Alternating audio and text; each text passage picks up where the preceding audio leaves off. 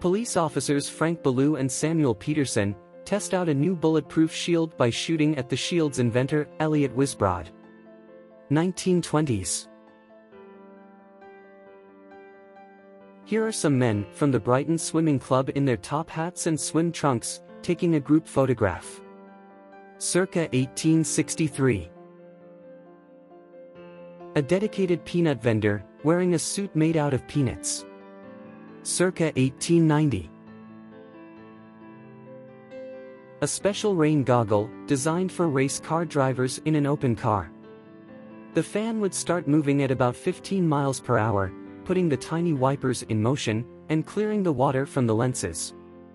England, 1930s. An airgunner training simulator, from the Russian Imperial. Circa 1915.